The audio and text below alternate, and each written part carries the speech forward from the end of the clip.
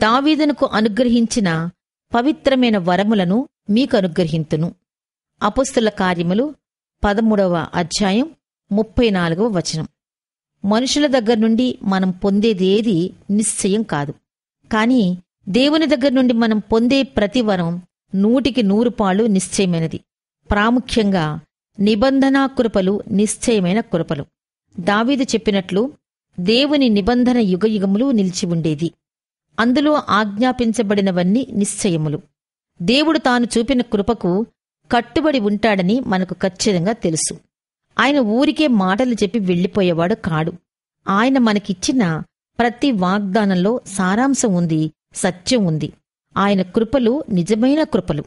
ఒకవేళ మనం మరణిస్తే కొన్ని వాగ్దానాలు నెరవేరకుండా మిగిలిపోతాయేమో అని మనం భయపడుతూ ఉంటాం కాని ఎట్టి పరిస్థితిలోనూ దేవుడు అలా జరగనివ్వడు. మంచి దేవుడు తన మాట ఎప్పటికీ మంచి మాటగానే ఉండేటట్లు చూస్తాడు. తాను ఎవరితో నిబంధన చేశాడో వారందరి మీద ప్రభువు వాగ్దాన కృపలు కృమ్మరిస్తాడని మనకు ఖచ్చితంగా తెలుసు. ప్రభువు చేత ప్రత్యేకించబడిన వారందరికీ అవి తగిన సమయంలో అనుగ్రహింపబడతాయి. దేవుని సంతానంలో అల్పులైన వారు మొదలుకొని గొప్పవారి వరకు అందరికీ ఆయన వాగ్దానాలు నిశ్చయంగా ఉంటాయి. దేవుడు తన స్వంత ప్రజలకు తన కృపలను కొనసాగిస్తాడని మనకు తెలుసు. ఆయన ఒకసారి ఇచ్చిన వాటిని మళ్ళీ వెనుకకు తీసుకునేవాడు కాడు. ఇప్పుడు ఆయన మనకు ఏవి ఇచ్చాడో అవన్నీ ఆయన దగ్గర నుండి మనం ఇంకా పొందబోయే గొప్ప ఆశీర్వాదాలకు ముంగుర్తు మాత్రమే.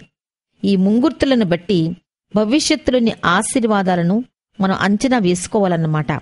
వాటిని మనం ఇంకా అందుకోనప్పటికీ ఇప్పుడు ఎంత ఖచ్చితంగా ఆయన కృపలు అనుభవిస్తున్నామో వాటిని కూడా అంత ఖచ్చితంగానే అనుభవిస్తామని తెలుసుకోవాలి.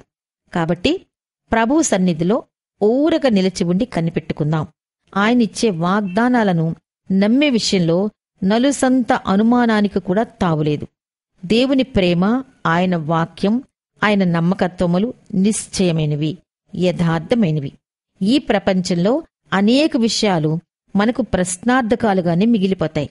అయితే మన ప్రభువు విషయానికొస్తే మనం ఇలా పాడుకుంటాం.